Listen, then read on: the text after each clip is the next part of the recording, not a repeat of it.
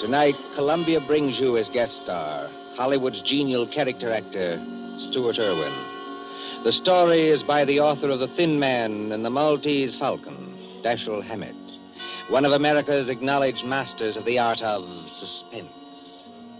Suspense is compounded of mystery and intrigue and dangerous adventure.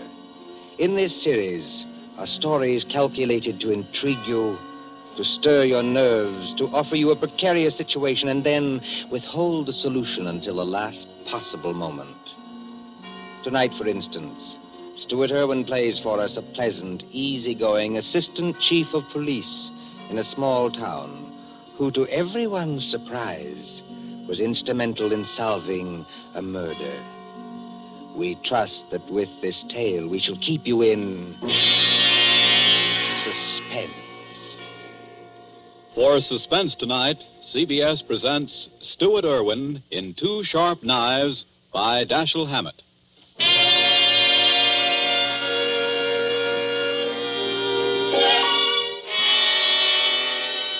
Shortly after 2 a.m., a poker game had just broken up at Ben Camley's, the doctor coroner of Deerwood City.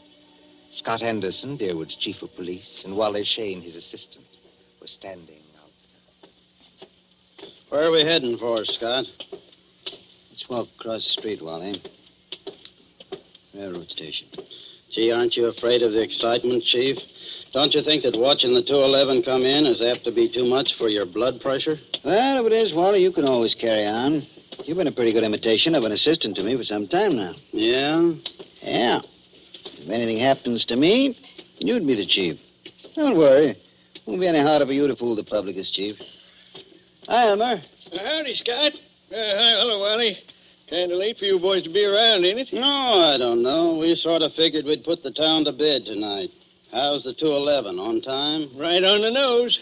She ought to be blowing for the bend in just about three seconds now. Yep. What'd I tell you? It's her now.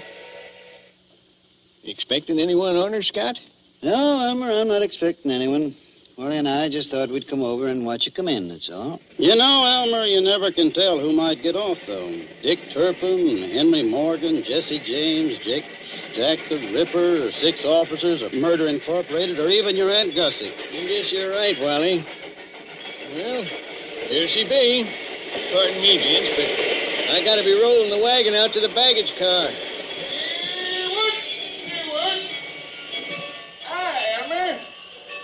How's it going? Well, can't complain. Uh, can't complain, Cap. Well, maybe you can't, Elmer, but I sure can if you hold us up with that freight there. You got much more? Nope. This is the last piece now. There you are, Cap. All done. Okay. See you tomorrow, Elmer.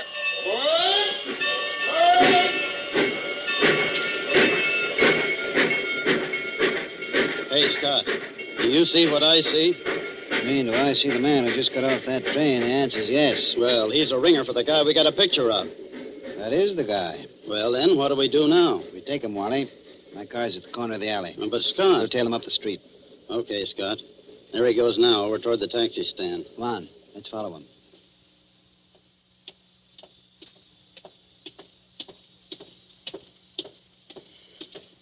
Hello, Furman. Huh?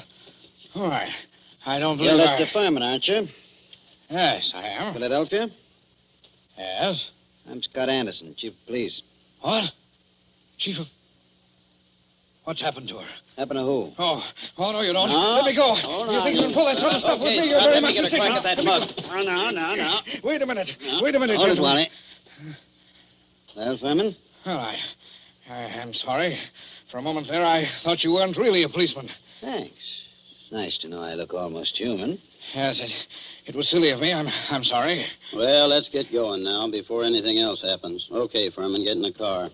I'll drive, Scott. Anyhow.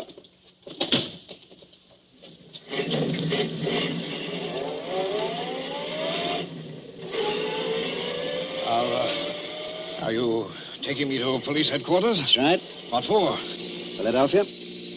I, uh, I don't think I understand. You understand that you're wanted in Philadelphia for murder, don't you? Murder? Why, That's ridiculous. That's. Who told you that? Well, it's a cinch he didn't make it up. But wait, there, there must be Take it easy now. Just wait till we get down to headquarters. And I'll show you what I mean.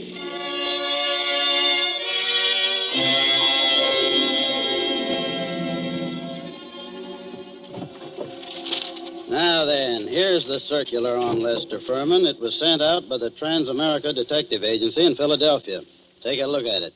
Oh, yeah. $1,500 reward for the arrest and conviction of Lester Furman, alias Lloyd Fields, alias J.D. Carpenter, for the. for the murder of Paul Frank Dunlap in Philadelphia on December 8th, 1942. Well, It's a lie. you're Furman, aren't you? Oh, yes, but. That's your picture on the circular, isn't it? Oh, yes, yes, but I. Well, I- Scott, I see you and Wally got Furman, huh? Oh, hello, George. Ah, you lucky stiffs. Now you two split a grand and a half reward. I never seen nothing like it. You know, if it ain't vacations in New York at the city's expense, it's reward dough. Judge, someday, if you don't remember you're the jailer around here, not the DA, Hmm? you're going to be wearing your teeth on the outside of your lips, and I'll be the guys who arrange them that way. Savvy? Uh, just 'cause you caught a guy who's hot in Philadelphia. It's a lie. It's a frame up. You can't prove anything. There's nothing to prove. I never killed anybody. I won't be framed. Take it I won't easy, be framed. Furman. Take it easy. You're wasting your breath on us. Save it for the Philadelphia police. We're just holding you for them. But it's not the police. It's the Transamerica We Detective. turn you over to the Philadelphia police. Mr. Anderson, I, I. Well, then. Then there's nothing I can do now. There's nothing any of us can do till morning. You'll have to search you now, then we won't bother you any more till they come for you. But I. Wally, you look through his bag. I'll see what he's got in his pockets. Okay, Scott. Well, all he's got on him are some business cards, a few letters, a hundred and... Only fifty... Hundred and sixty dollars, a book of checks in the Philadelphia bank, and a few odds and ends. What's with the bag, Wally? Not much. A couple of changes of clothes, some toilet articles, and... Oh, here's a 38. Loaded. Pretty little thing, isn't it? Okay, put those things in what I got in the vault. All right, George. You can take Furman now and lock him up. This is the most ridiculous Come thing I- along, I- darling, come on. We ain't had nobody in our little hooskull for three days running. Hey, yeah? You'll have it all to yourself. Just like a suite at the Ritz. But I- Go on, in you go.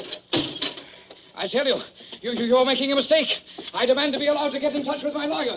I, Hey, how about you boys cutting me in on a little of that blood money, huh? Oh, sure, George, sure. I'll forget all about that two and a half you've been owing me for three hmm? months. Make Furman as comfortable as you can, George. Take good care of him. He's valuable, huh? Yeah, now if it was some bum that didn't mean a nickel to you. George, any day now, I'm going to forget that your uncle is county chairman and throw you back in the gutter just to see how high you'll bounce. Remember that. Oh, Scott, I, I didn't mean nothing. That's I- all, George. Never mind the rest. I'm going home now. If anything's urgent, I can reach there. But get this. I don't want to be disturbed. Unless it is urgent.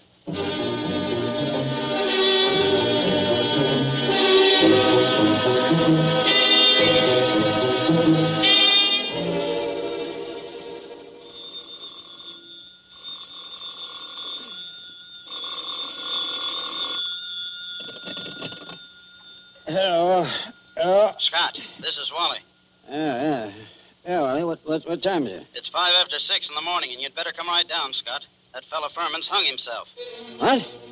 Furman hung himself. Yep, by his belt from a window bar. Dead than a mackerel. I'll be right in, Wally. Phone Doc Camsley and tell him I'll pick him up on my way down. No doctor's gonna do Furman any good, Scott. Well, it won't hurt to have him looked at. You'd better phone the chronic court at Douglasville, too, and file a routine report. Already did that. And what's more, hold on to your seat. The DA's on his way over, in person. The DA? Yeah. I'll be there before you hang up, Wally.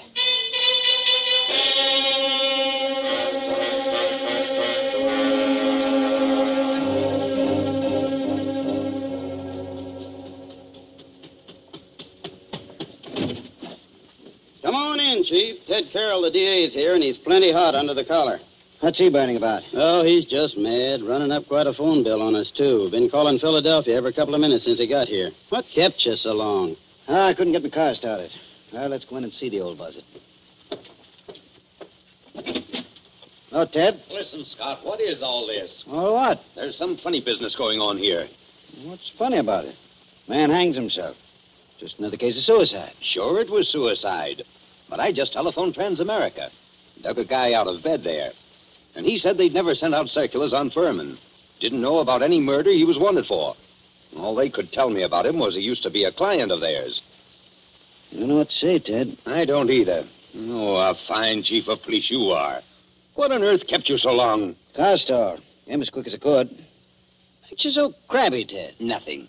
I guess it's just the district attorney and me. Ah, now, come, come, gentlemen. Nobody'd know you two are staunch admirers of each other. Okay, Wally.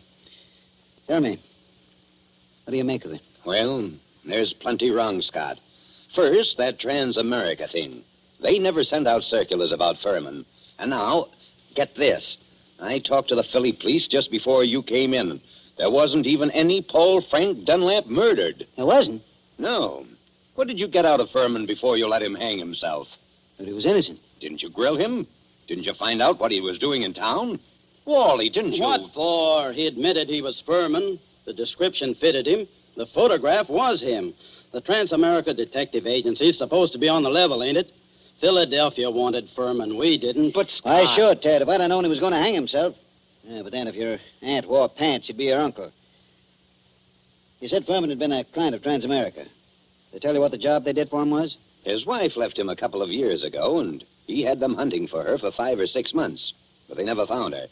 They're sending a man up here tonight to look things over. Yeah, huh? Yes. Mm-hmm. Well, I'm going out and grab a quick bite. But I might as well tell you, Scott, there's going to be trouble over this. I know that, Ted. There usually is when somebody dies in a jail cell.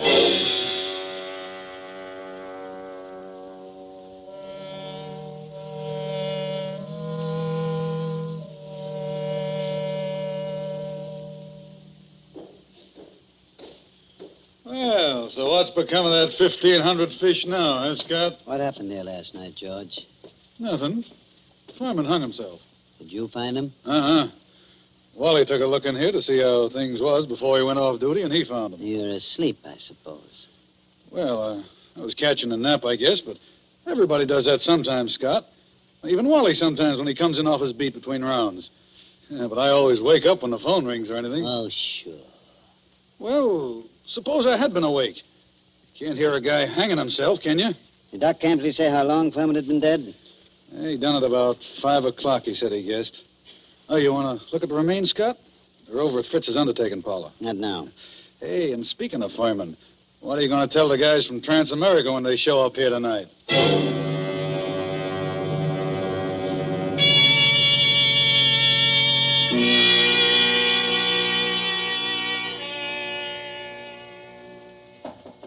Come in, come in. They, they told me I'd find you here. You're Chief Anderson, aren't you? Yes, that's right. I'm Carl Reesing, Assistant Manager of the Transamerica Detective Agency in Philadelphia. This is Mr. Wheelock, who was Lester Furman's personal attorney. Glad to know you, Mr. Racing. How do you do, Mr. Wheelock? Hmm. How do you do? I know you gentlemen are already in possession of most of the details concerning Mr. Furman from the time he arrived in Deerwood until the time of his death. But perhaps you don't know that the police of most towns in our corner of the state have also received copies of this same reward circular. Take a look at it. Oh. oh. I must say this circular is an excellent forgery. You're sure it's a forgery, Mr. Racing? Oh, yes, there's no doubt about it. But it's an excellent forgery. Tell me, Mr. Wheelock, was Mr. Furman a native Philadelphian? Oh, my, yes. He was a well-known, respectable, and prosperous citizen of Philadelphia. Married, I believe? In 1934, he married a 22-year-old girl named Ethel Bryan, daughter of a Philadelphia family. And the Furmans had a child? Isn't that right, Mr. Wheelock? Yes, born in 1936, but the child lived only a few months. Mr. Furman's wife disappeared after the child's death. Uh, what year was it that she disappeared? Mr. Reesing should remember that. His agency worked on the matter. Oh, I remember it well. Uh, Mrs. Furman disappeared in 1937. We never heard anything of her again, although Furman spent a lot of money trying to locate her. What did she look like, Mr. Racing? Uh, in just a moment, uh, I have a picture of her right here in my briefcase. Ah, uh, here it is. Quite pretty, isn't she? If you care for that type. I see what you mean, Mr. Wheelock. Well, she's attractive as that. Judging by this photo, I'd say that she was a small-featured, pretty blonde, with a weak mouth and large, somewhat staring eyes. Oh, that's an accurate enough description, all right. If you don't mind, I'd like to have a copy made of that photograph, Mr. Reesing. Oh, you can keep that one if you like. It's one that we had made up at Transamerica. Uh, her description's on the back. Thanks. Did uh, Furman ever divorce her? No, sir. He was a lot in love with her, and he seemed to think that the child's dying made her a little screwy so that she didn't know what she was doing. Uh, that's right, isn't it, Mr. Wheelock? That is my belief, Mr. Reesing. Uh, you said Furman had money, Mr. Wheelock. Uh, about how much did he have? And who gets it? I should say his estate will amount to perhaps a half a million dollars left in its entirety to his wife. hmm It's quite a handy sum for anyone to have, I'd say. Mr. Wheelock, everything shows that somebody framed Furman into the Deerwood jail. And that frame-up drove him to suicide. But there has to be something else. A lot else. Well, then, what are you going to do? I'm going across the street to the undertaking parlor and have a look at Furman. I'll see you later.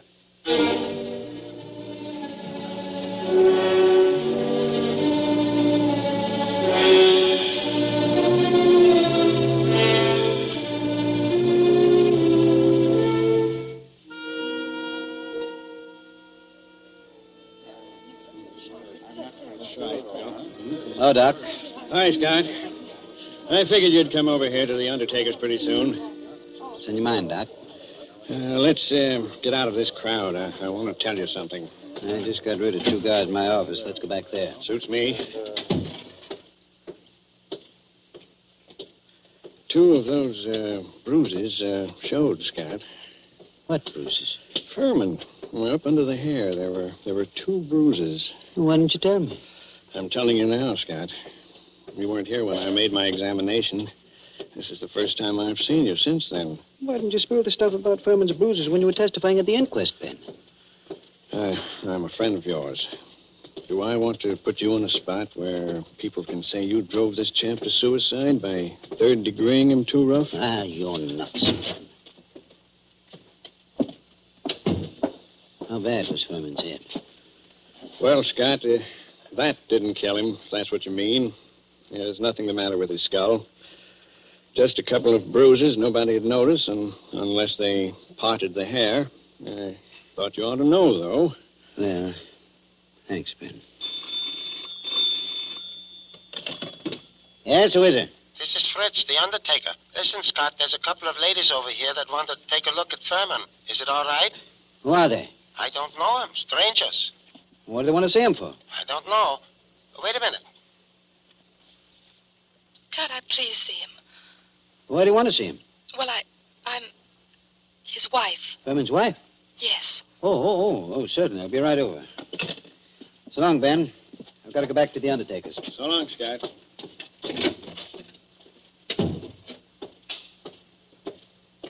Hey, Scott, What do you want, Wally? I want to talk to you a minute. Over here where we won't be seen. Okay, what is it? A couple of dames came into Fritz's undertaking place just as I was leaving. One of them's Randall, a babe with a record as long as your arm. She's one of that mob you had me working on in New York last summer. Does she know you? Sure, but not by my right name. She thinks I'm a Detroit rum runner. I mean, did she recognize you just now? I don't think she saw me. Anyway, she didn't give me a tumble. You don't know the other one? No, she's a blonde, kind of pretty. Okay, Wally. Stick around a while, but stay out of sight. Maybe I'll be bringing these dolls back with me. Whatever you say, Chief.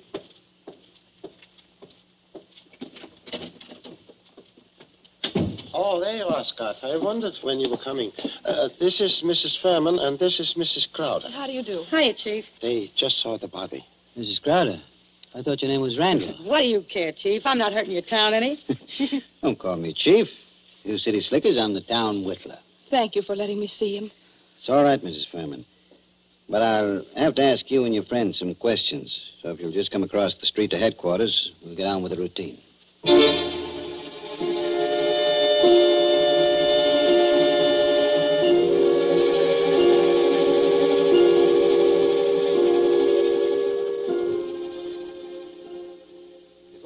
Any questions, I want to tell you something. Mrs. Furman, your husband didn't commit suicide. He was murdered. Murdered? Ah, Chief, we got alibis. We were in New York, and we can prove it. And you're likely to get a chance to. What brought you down here anyway? Murdered? Well, who's got a better right to come down here? She was still his wife, wasn't she? She's got a right to look out for her own interests, hasn't she? hmm Uh, it reminds me of something. Uh, excuse me a second. Uh, I've got to make a phone call in the next room.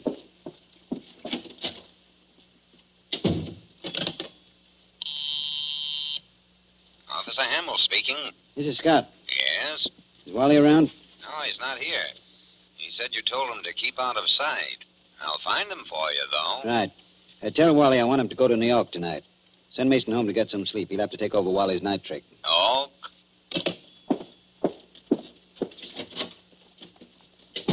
Mr. Anderson, Mr. Anderson, do you think I had had anything to do with Lester's, with his death?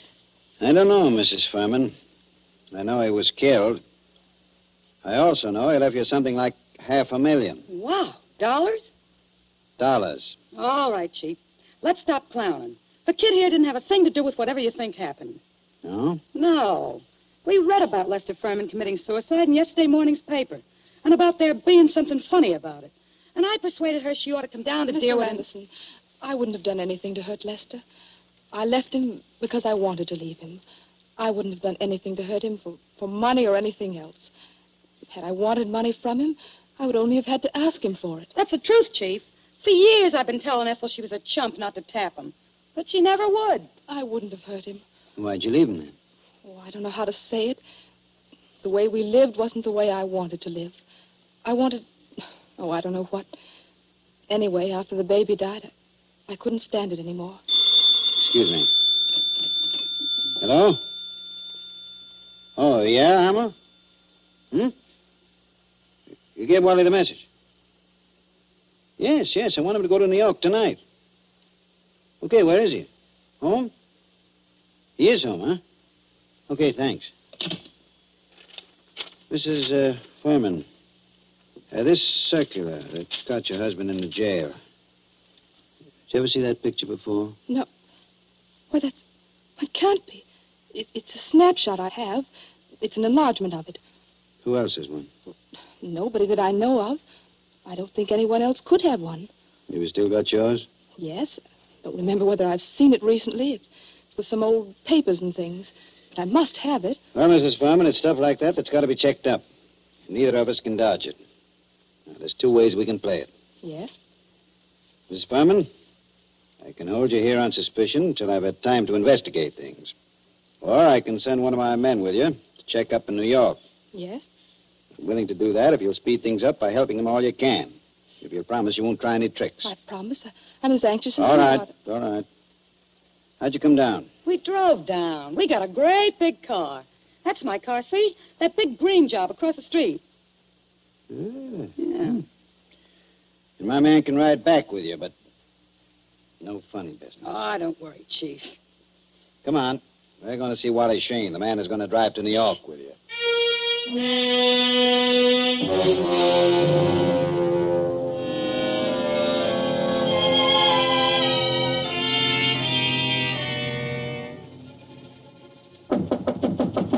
Wally? Who is it? Scott, Wally. Come in. Ladies first. Harry. Harry. Ethel. No, you don't. No, you don't. No use reaching with that gun, Wally. Already got you covered. I guess you win, Scott. Yeah, I guess I do. Come along back to headquarters with me like a good little boy. Wally, you're under arrest for murder.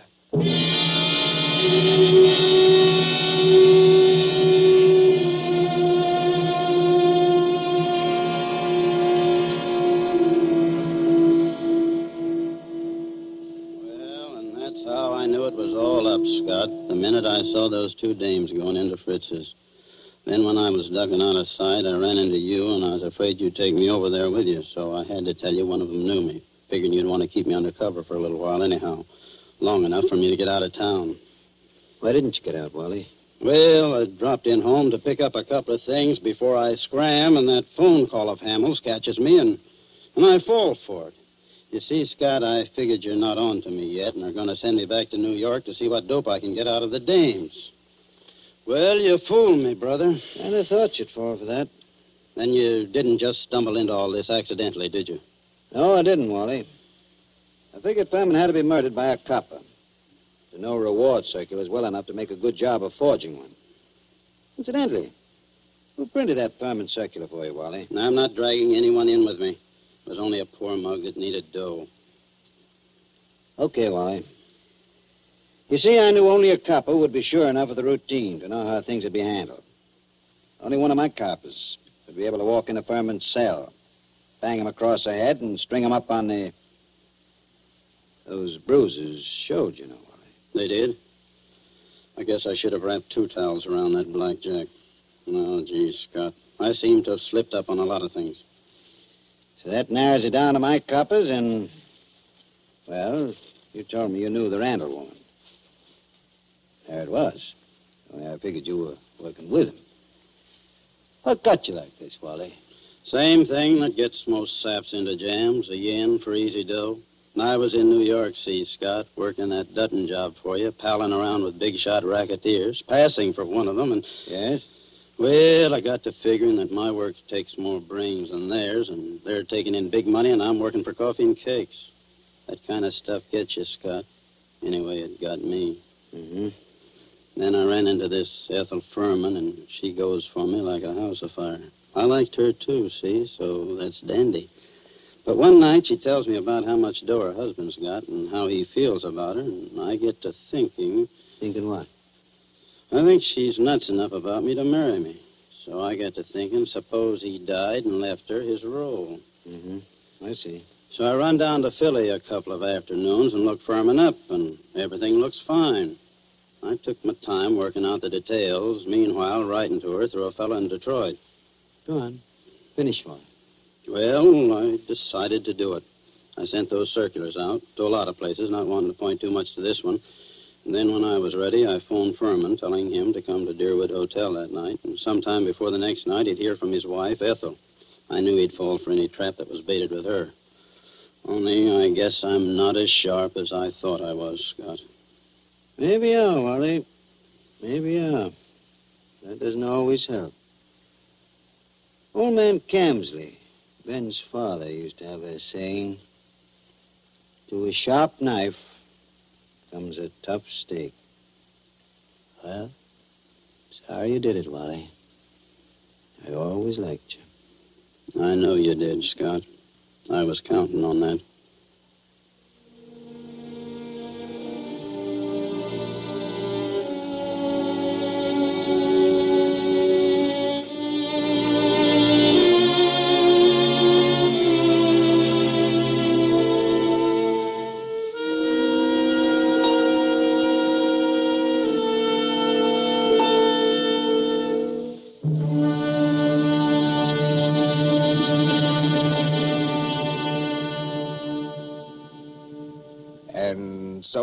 Dashiell Hammett's Two Sharp Knives, starring Stuart Erwin. Tonight's story of suspense. Columbia presents these tales of mystery and intrigue and dangerous adventure for your relaxation and enjoyment. Next week, suspense will not be heard because of a special holiday broadcast. Columbia's review of the events of the year, 12 crowded months, which has been scheduled. On the following Tuesday, January 5th, there'll be another in this series. Same hour, 9.30 Eastern Wartime. William Spier, the producer, John Dietz, the director, and Bernard Herrmann, the composer-conductor, are collaborators on Suspense. This is the Columbia Broadcasting System.